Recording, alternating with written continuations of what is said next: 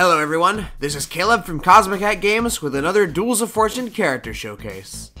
Today, we're getting down to business and presenting you the scaredy, shaky, subpar salaryman, Justin O. Guy. Guy is, in contrast to other characters, notably weak and frail. After all, he's no genius or superhuman or trained fighter. He's just a normal guy. But even the most pitiful of combatants have the potential to succeed in the right hands. Guy might have to work a bit harder than his competition, but even someone like him has unique, hidden strengths that can flourish under the right circumstances. Right off the bat, Guy has a few inherent traits to take note of. He has the lowest max health in the game, even lower than Shota or Annie, so he can't take very much of a beating. He also has both the lowest and the slowest jump in the game, so he can't make good use of the air the same way most other fighters can.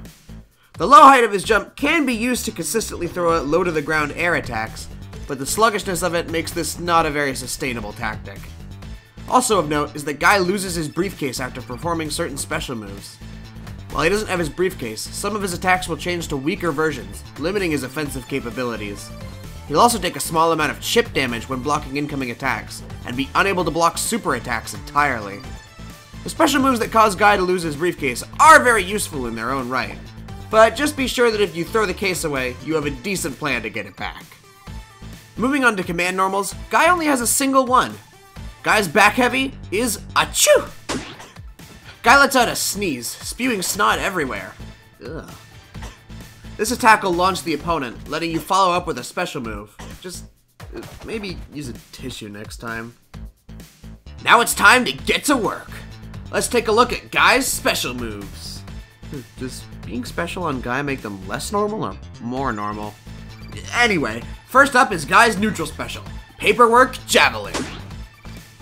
Guy throws his briefcase as a damaging projectile attack. You can hold back during the startup to change the angle of the throw, making Guy toss it practically straight upward.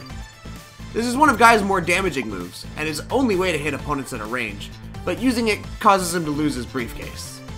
It's best to use it sparingly, either as a last resort or in situations where you know you can retrieve the case quickly. Pressing neutral special without a briefcase will perform Graphite Spear.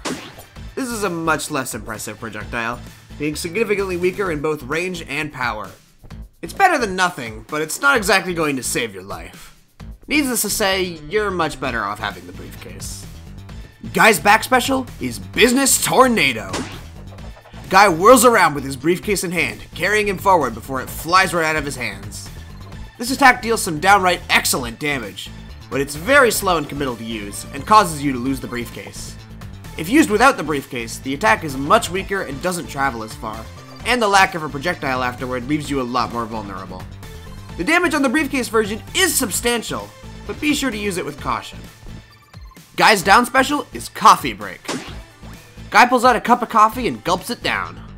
This consumes one coffee bean, which are displayed at the bottom of the screen above Guy's super meter, and it grants him the caffeinated buff for a short time.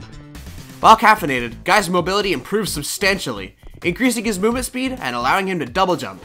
That's some good coffee. Unfortunately though, as soon as the effect ends, Guy will go into a caffeine crash, making him even slower than normal for a few seconds. The crash doesn't last too long, but letting it happen at a bad time can be very dangerous. The speed buff can be used for lots of different things, like going on the offensive, running away, or even retrieving your briefcase in a pinch, since the move can be used without even having it. But that's not all the coffee is capable of. If you press down special while either of the coffee effects is already active, you'll get a different move. Hot Hot! This still consumes a coffee bean, but instead of drinking the coffee, Guy will spit it out, creating a large, unblockable hitbox in front of him that briefly stuns the opponent in place. This is one of Guy's strongest attacks, but the cost of an extra bean on top of the one needed to activate the effect means you can only use it very sparingly. And Guy's jumping special is just a kick. Y- yeah, no, this one kind of speaks for itself, huh? And lastly, before we clock out, let's take a look at Guy's best techniques? His super moves. Guy's neutral super is Taxi Please. Guy calls a taxi on his phone, which will arrive 15 seconds after the super is used. The taxi itself deals a lot of damage, the most of any unboosted super currently in the game in fact, but the 15 second waiting time makes it pretty impractical to use normally. Still, the threat of its arrival can keep your opponents on their toes. This super also has a secondary function. If you press neutral super again during the waiting period, you can spend 25% super meter to swap out the taxi for a delivery car. The delivery car deals less damage than the taxi, but when it arrives, it'll drop a bag containing a coffee bean. If you have the meter, you can even place a second order to get a bag containing two beans. The delivery car is the only way to replenish coffee beans during the match, so it can be a great utility if you can spare the meter for it. Overall, it's a very multi-purpose super, albeit with a comedically long startup time. And Guy's down super is Courageous Leap.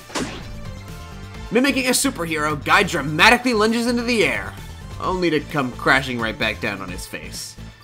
He's trying his best.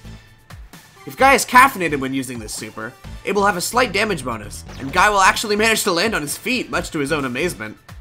The ending celebration might seem lengthy, but it can be easily cancelled with a dash halfway through.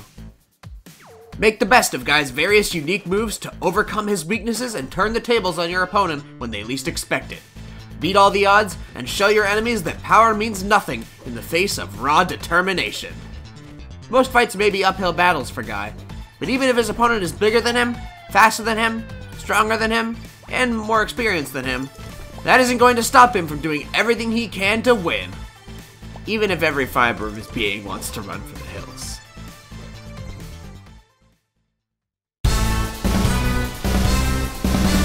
That's all for today's showcase. If you like what you see, you can try the game out for yourself through the links in the video description. You can also follow us on Twitter or join the Discord community to keep up with the game's development. We hope you look forward to getting your hands on Guy and to more showcase videos like this one. Thank you so much for watching.